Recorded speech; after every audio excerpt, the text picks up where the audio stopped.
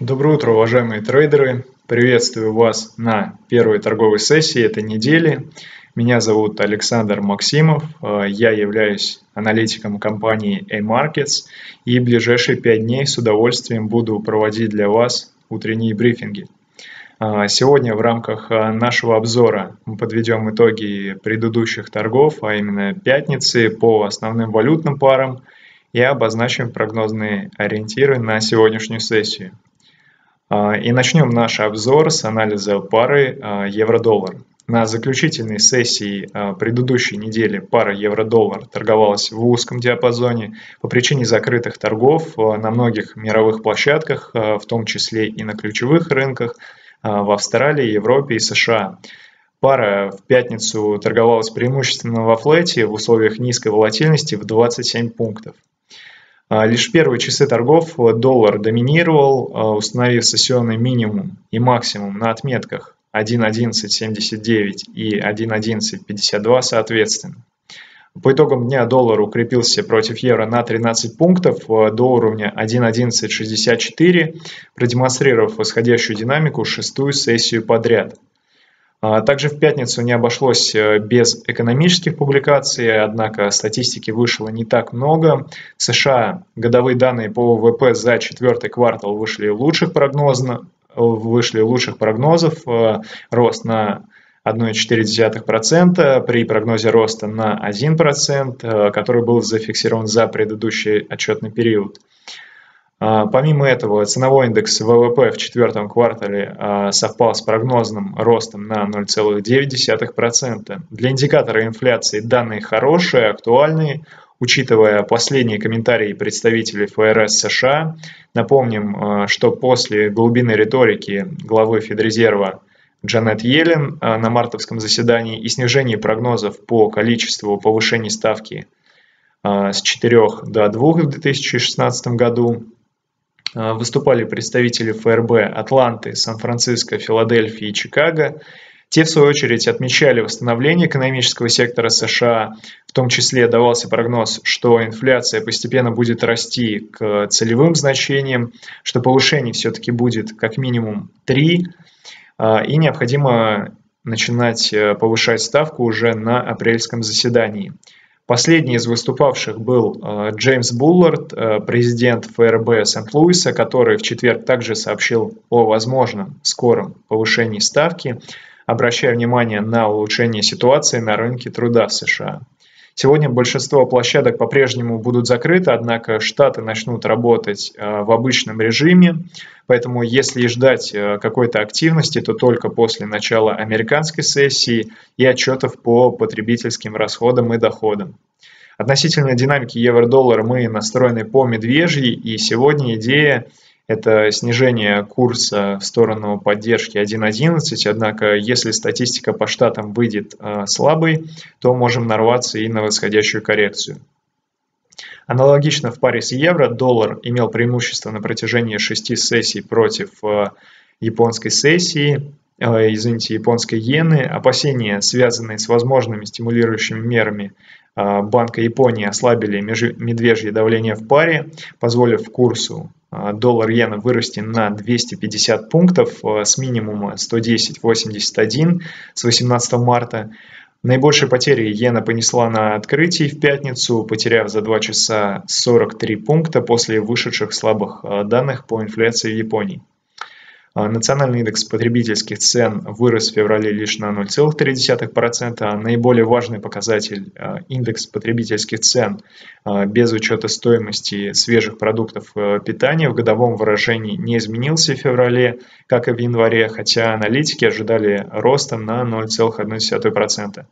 Стартовав в пятницу с отметки 112.81, пара показала рост на открытии до 113.31, а завершил неделю на уровне 113.06.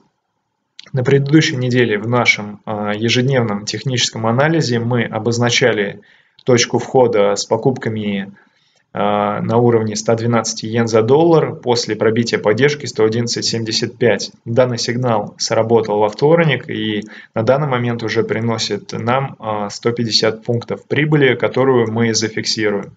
По паре мы рассчитываем на сохранение восходящей динамики и спад на коррекциях будем использовать для новых покупок.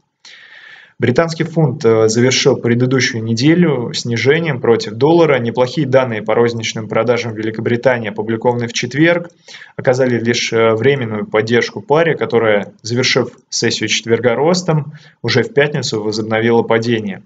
Пара стартовала с отметки 1.4151, достигнув минимума 1.4107 еще на азиатских торгах и завершила день на уровне 1.4128 с убытком в 23 пункта.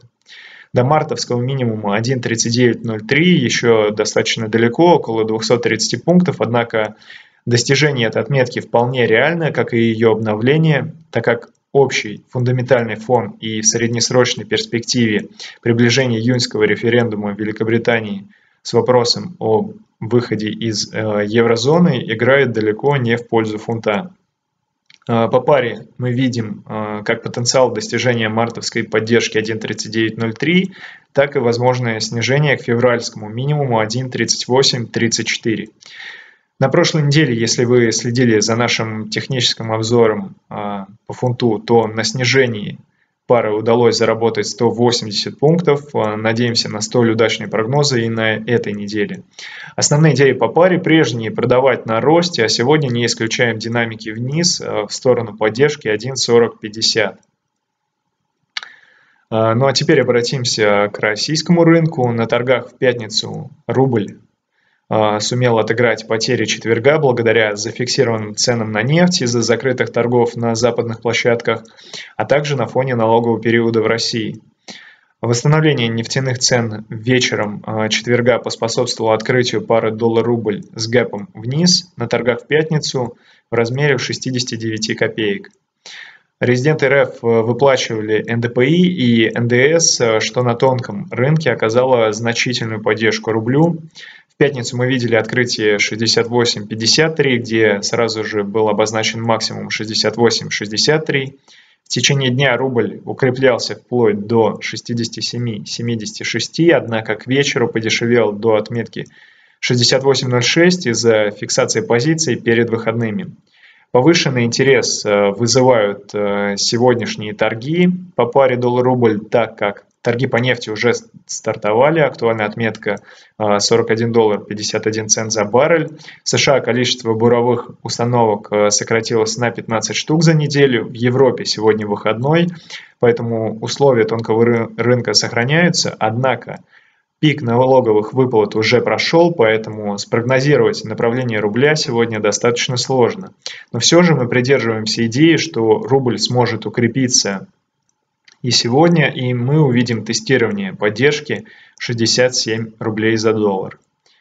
А, как вы помните, в пятницу торги по нефти не проводились. Э, в четверг мы наблюдали двустороннюю динамику курса.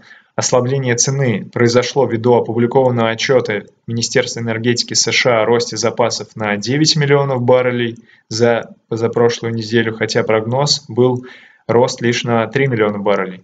Однако к концу торгового дня котировки восстановились в области уровня открытия и завершили неделю на отметке 41.03.